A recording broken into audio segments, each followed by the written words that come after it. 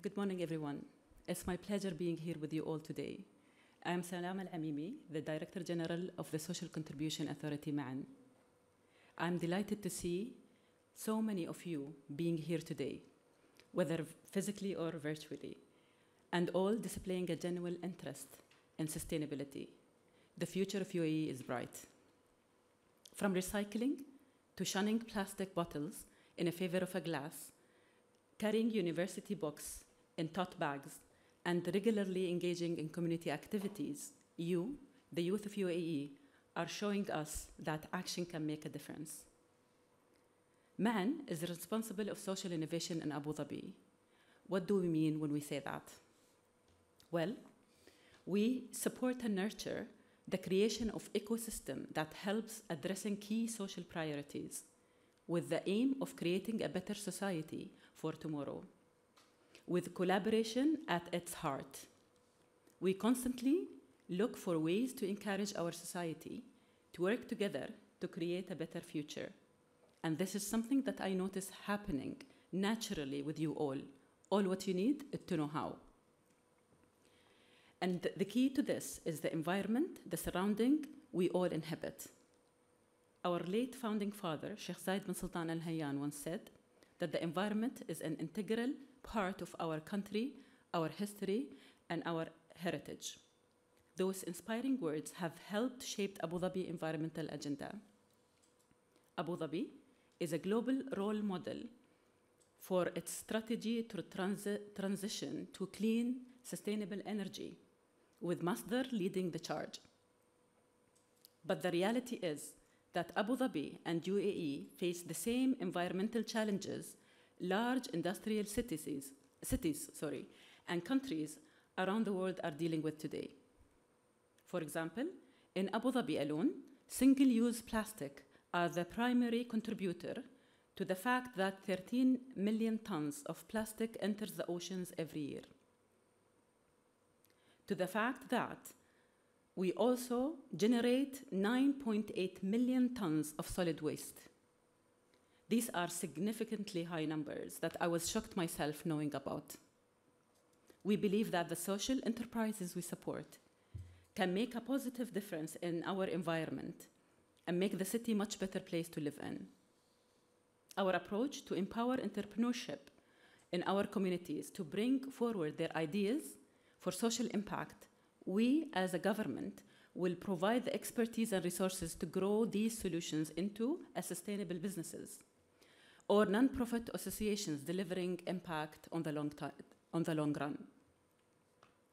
Through Ma'an Social Incubator, we are not only investing in building skills, but also accelerating a culture of social impact. For the people who does not know Ma'an, we work under the social umbrella. So we are focusing on stimulating the third sector, but um, uh, under the social uh, umbrella. So we have a socio-economical uh, portfolio, just for your information. That is why we collaborate with the Environment Agency in Abu Dhabi to make an environment at the theme of the fourth cohort of Ma'an Social Incubator. Through MSIA, we provided a platform for tomorrow's up-and-coming innovators to transform their ideas into sustainable products and services that will benefit the entire community. This MSIA supported 10 shortlisted teams of bright entrepreneurs, some of whom were led by people as young as 22 years old, to help develop ex extremely creative solutions to the environment challenges. To give an example, Bazara is peer-to-peer -peer social marketplace application for buying and selling clothes, accessories, and home goods, which has more than 12,000 register registered users today. Another solution called Nadira, providing a technology-enabled waste management solutions to help increase material recovery rates and reduce wastes. This has been, this has been uh, a big hit so far, where 90 households in Bloom Garden Industrial I believe all of you knows Bloom Garden, are already in board using that uh, uh, system. MSIA have been key in growing Abu Dhabi third sector. Since we launched the program 2019, we have supported around 45 social enterprises to have directly benefited more than 200,000 beneficiaries and of a revenue created more than 500,000 so far. I encourage you all to continue thinking of ways to help and create a better future in Abu Dhabi. Ways to help make our community come more cohesive and collaborative. We are here to help you because together we can create a brighter future for Abu Dhabi. Thank you very much.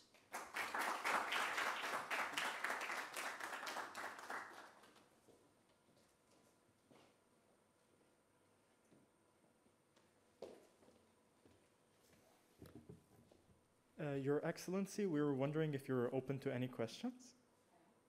Yeah? If anyone has any question to Her Excellency, please raise your hands. Any questions? Hmm. That seems you gave a very wonderful presentation. No one has any questions. I, I can give them an idea about the MSIA support that we're providing because I really want to promote the technology.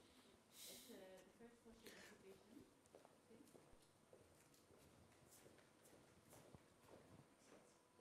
Thank you.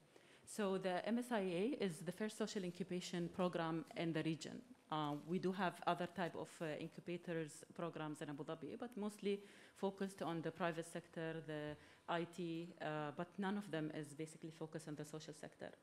So uh, we as an organization are in charge of bringing the most innovative, uh, I would say, solutions uh, around the world and introduce it to the social sector. As you know, the social sector for a long period of time was dealt with in a classical approach.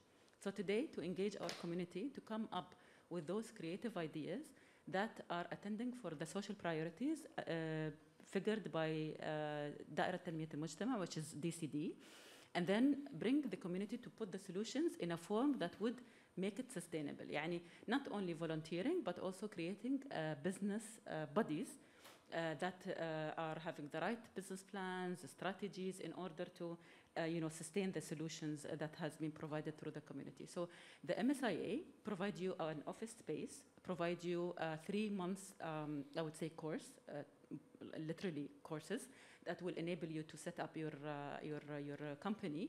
And also there is a financial support up to 200,000 dirhams, and those 200,000 dirhams are paid according to your progress uh, your social entrepreneur. This is open for everyone, but serve, serves Abu Dhabi uh, in specific. So it's open internationally. Any nationality can apply.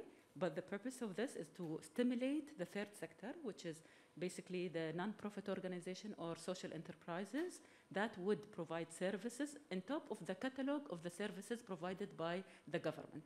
So here we are uh, supporting the third sector as much as, uh, for example, DED support the private sector, and we have the government. So if those three sectors are working all together in a comprehensive uh, way, then we are providing good services for the community and the vulnerable groups.